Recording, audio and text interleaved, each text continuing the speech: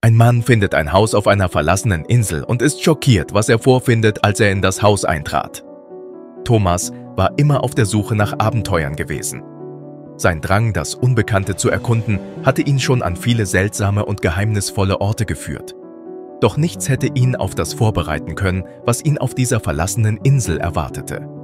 Es war ein strahlend klarer Morgen, als er seine kleine Yacht an einem einsamen Strand anlegte.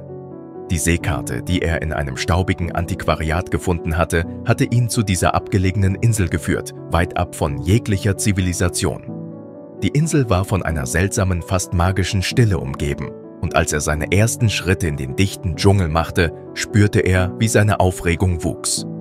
Stundenlang kämpfte er sich durch das dichte Unterholz, kletterte über umgestürzte Bäume und durchquerte kleine Bäche. Die Geräusche der Natur umgaben ihn, doch etwas fühlte sich seltsam an, als ob die Insel selbst ihn beobachtete. Schließlich, als die Sonne ihren höchsten Punkt erreicht hatte, stieß er auf eine Lichtung. Vor ihm erhob sich ein altes, verfallenes Haus, das von Ranken und Moos überwuchert war. Es stand einsam und verlassen inmitten der üppigen Vegetation. Ein unheimliches Gefühl beschlich Thomas, doch seine Neugier trieb ihn voran. Mit klopfendem Herzen näherte er sich der verfallenen Tür. Seine Hand zitterte leicht, als er sie gegen das verwitterte Holz legte. Mit einem leisen Quietschen schwang die Tür auf und gab den Blick in das Dunkel des Inneren frei.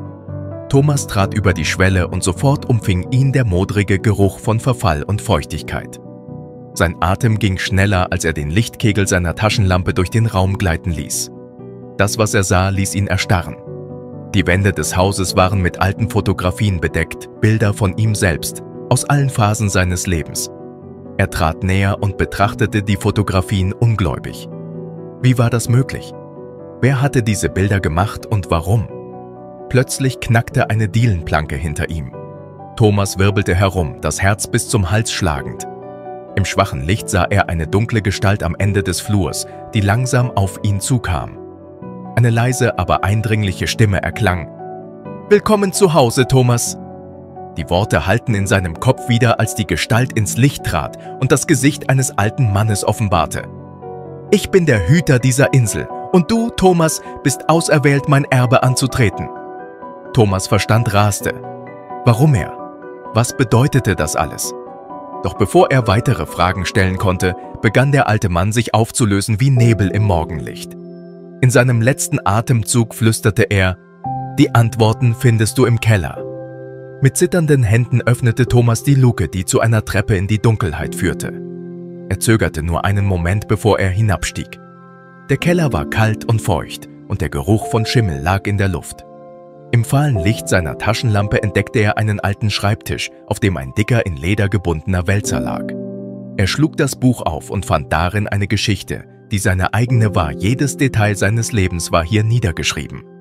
Doch die letzten Seiten waren leer unter dem letzten Eintrag fand er eine Notiz. Vervollständige das Buch und finde dein wahres Schicksal. Mit pochendem Herzen und einem Gefühl des Unvermeidlichen begann Thomas zu schreiben. Und während er schrieb, verstand er, dass sein Schicksal untrennbar mit der Insel und ihrem Geheimnis verbunden war. Die Vergangenheit und die Zukunft verwoben sich in den Seiten dieses Buches und Thomas wusste, dass er die Insel nie wieder verlassen würde. Er war nun der Hüter der Insel und das alte Haus sein ewiges Zuhause.